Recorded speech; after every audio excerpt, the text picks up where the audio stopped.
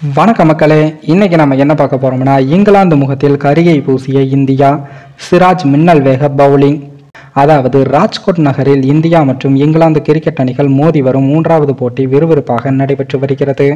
பிப்ரவரி பதினைந்தாம் தேதி துவங்கிய அந்த போட்டியில் டாஸை வென்ற முதலில் பேட்டிங் செய்த இந்தியா கேப்டன் ரோஹித் சர்மா நூற்றி முப்பத்தி இரண்டு ரன்களும் ரவீந்திர ஜடேஜா நூற்றி பன்னிரண்டு ரன்கள் எடுத்த உதவியுடன் நானூற்றி நாற்பத்தி ஐந்து ரன்களையும் குவித்தது. அதனைத் தொடர்ந்து களமிறங்கிய இங்கிலாந்து எண்பத்தி ஒன்பது ரன்கள் ஓப்பனிங் பார்ட்னர்ஷிப் அமைத்தாலும் தடுமாற்றமாக விளையாடி ஜாக்ரவிலியை பதினைந்து ரன்களில் அவுட் ஆக்கி ரவிச்சந்திரன் அஸ்வின் ஐநூறு டெஸ்ட் விக்கெட்டுகளையும் எடுத்து இரண்டாவது இந்திய வீரராக சாதனை படைத்தார்.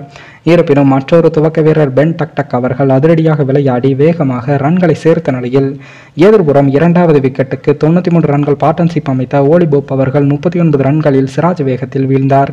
ஆனாலும் மறுபுறம் தொடர்ந்து அதிரடி காட்டிய பென் டக்டக் அவர்கள் எண்பத்தி எட்டு பந்துகளில் நூறு ரன்கள் தொட்டு இந்தியாவுக்கு எதிராக அதிவேகமாக சதம் அடித்த இங்கிலாந்து வீரராக சாதனை படைத்து சவாலை கொடுத்தார்.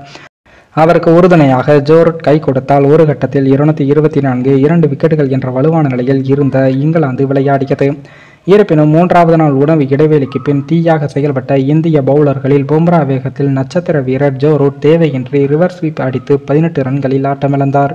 அப்போது வந்த ஜானி பிராட்ஷோவை டக்கோட் ஆகிய குல்தீப் யாதவ் மறுபுறம் அதிரடியாக விளையாடிய நூற்றி ஐம்பத்தி மூன்று ரன்கள் குவித்த பென்டக் டக்கையும் ஒரு வழியாக காலி செய்தார்.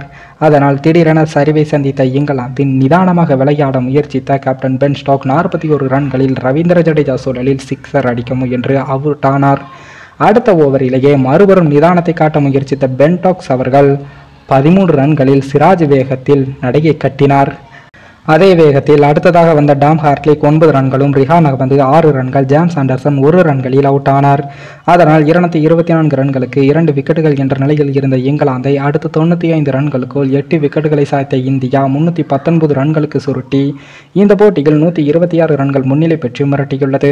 குறிப்பாக குடும்பத்தில் ஏற்பட்ட அவசர நிலையால் பாதியிலேயே வெளியேறிய அஸ்வின் இல்லாததால் இந்தியா தடுமாறும் என்றும் எதிர்பார்க்கப்பட்டது.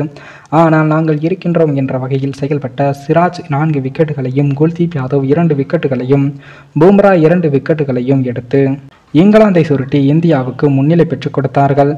அதைவிட பென்டக்டக் அவர்கள் அதிரடியாக விளையாடியதால் மூன்றாவது உணவு இடைவெளியில் இங்கிலாந்து நானூற்றி ஐம்பது ரன்கள் தாண்டி இந்தியாவை விட முன்னிலை பெற்று என்று முன்னாள் கேப்டன் அலஸ்டர் குக் அவர்கள் அதிரடியான கருத்தை தெரிவித்து இருந்தார் ஆனால் தற்போது இங்கிலாந்தை தேநீர் இடைவெளிக்குள் நானூறு ரன்களுக்குள் ஆல் அவுட் செய்து உள்ளது இந்தியா. இதனால் அவருடைய முகத்தில் கரியை பூசியுள்ளது இந்தியா. மேலும் இந்த வீடியோ ஏதோ ஒரு விதத்தில் உங்களுக்கு பிடித்திருக்கும் என்று நினைக்கிறேன். நம்ம சேனலுக்கு புதிதாக வீடியோ பார்க்கிறீர்கள் என்றால் மறக்காமல் சப்ஸ்கிரைபர் செய்துவிட்டு பாருங்கள். இன்னொரு வீடியோவில் சந்திக்கும் வரை நான் உங்கள் தமிழ்.